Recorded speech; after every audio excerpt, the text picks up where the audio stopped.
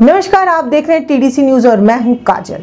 हरियाणा चुनाव प्रचार के अंतिम दिन पीएम नरेंद्र मोदी ने एक जनसभा को संबोधित करते हुए कहा कि हरियाणा आज बेटियों की सुरक्षा के लिए पूरे देश में प्रेरणा का स्रोत बन गया है।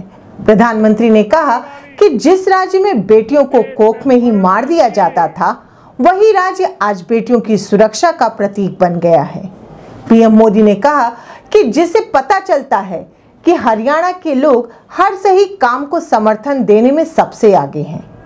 पीएम मोदी ने महिलाओं के लिए अपने भाषण में क्या कहा आइए आपको सुनाते बेटी हैं। बचाओ बेटी पढ़ाओ के रूप में बहुत बड़ा जन आंदोलन हरियाणा से ही शुरू हुआ और आज पूरे भारत में फैल चुका और हर हिंदुस्तान हिंदुस्तान का हर भाई मेरा भाई बहन जब बेटी बचाने की बात आती है तो गर्व के साथ कहता है कि हमें हरियाणा से सीखना है। सरकारें पहले भी थे माता पिता पहले भी थे, बेटियाँ पहले मारी जाती थी, माता के गर्भ में बेटियों को मौत के घाट उतार दिया जाता था।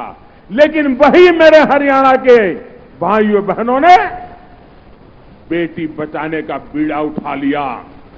वही माँ बाप ने माँ भारती के सपनों को पूरा करने के लिए बेटियों की को बचाना, बेटियों को पढ़ाना, बेटियों को बढ़ाना।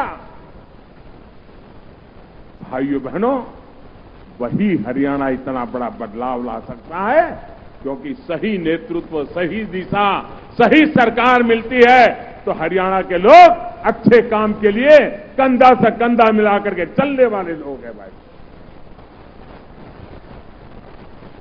आज हरियाणा की बेटियों की रक्षा, सुरक्षा और शिक्षा के लिए,